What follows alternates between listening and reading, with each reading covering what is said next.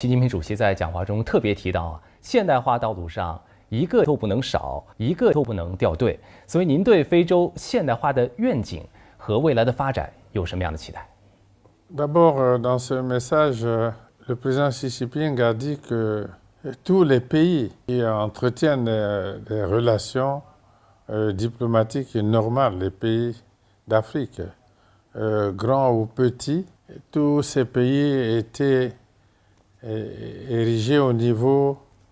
de la relation de partenariat stratégique global. Nous pensons que c'est une façon de tirer vers le haut même les plus faibles, de tendre la main et faire que ensemble nous allions de l'avant et qu'il n'y en ait pas qui, qui reste en arrière. Je crois que c'est un un moment d'ensemble très important et un signal qui sera donné à ce que nous appelons aujourd'hui le, le Sud global. C'est déjà l'Afrique et la Chine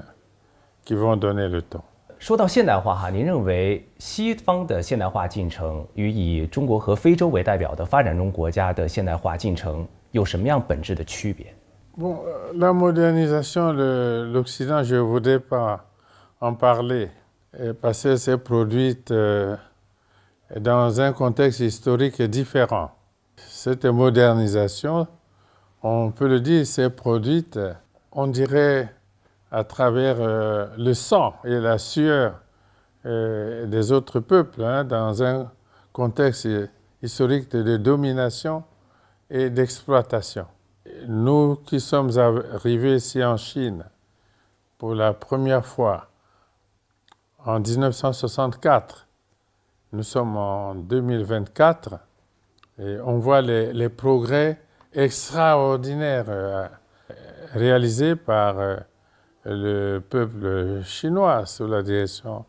du Parti communiste chinois, mais des, progrès extraordinaires. Un autre peuple, mais à travers son dynamisme propre et des rapports de coopération avec les autres peuples du monde, la Chine a réussi ce, ce développement